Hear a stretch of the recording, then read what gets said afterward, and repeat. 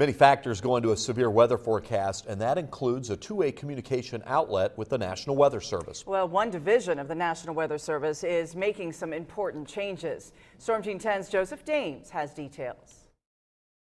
We do have a slight risk for severe weather. You can see that in the yellow area right there. We've become familiar to that sound and those words during a severe weather risk. But where does that colored set of risk labels come from? It is released by the Storm Prediction Center in Norman, Oklahoma, prior to potential severe threats. The SPC puts out our tornado watches and severe thunderstorm watches when warranted. They also produce a severe weather outlook.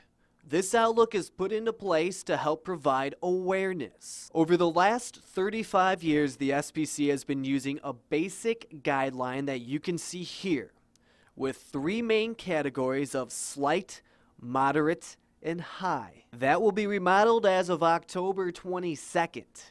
That means you will see the Storm Team 10 using additional terms and categories to help you be more aware of severe weather potential. Here are the significant changes. The SPC has added two more categories to the outlook, making a five tier outlook, adding marginal and enhanced categories. You can see the new breakdown here, where marginal is the first level and enhanced is added between slight and moderate risk. Now this can be a little confusing, so let me try to draw a picture for you, literally. We have yellow, which represents a slight risk, moderate risk at red, and pink at high risk. This is what is in place currently. Well, there will be a change because as you can tell, there's some areas that overlap and some gray spots. Now, what did the SPC do? Well, they reached out to you and they made it more specific. They straightened out the edges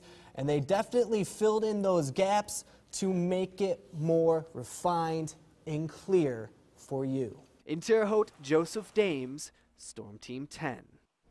As a reminder, the Outlook images were examples. They do not apply to our weather today. You can find a more detailed breakdown to the SPC changes on our website, where a link will be posted to those updates.